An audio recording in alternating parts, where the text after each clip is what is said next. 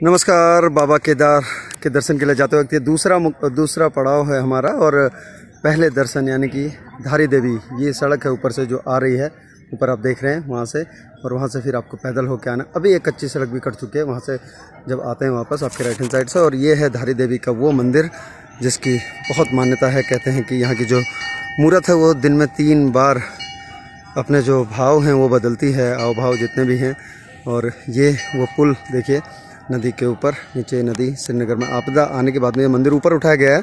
पहले नीचे था मंदिर और जब से यहाँ पर बाढ़ आई है और उसके बाद में आपदा जब आई थी और उसके बाद में ये ऊपर उठाया गया, पिलर्स देखे, नीचे आप पिलर्स देख रहे हैं इसमें ये ऊपर उठाया गया यानी कि अभी ये कृत्रिम है और वही मूर्ति ऊपर लाई गई है और ये वो पुल है, सामने गाँव है उस पार।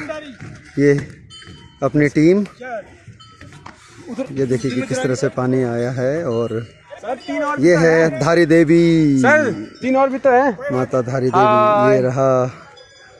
ये देखिए किस तरह से धारी देवी का ये माधव। माता धारी देवी की जय। फिर मिलेंगे अगले पड़ाव पर। तब तक आप दर्शन कीजिए माता के।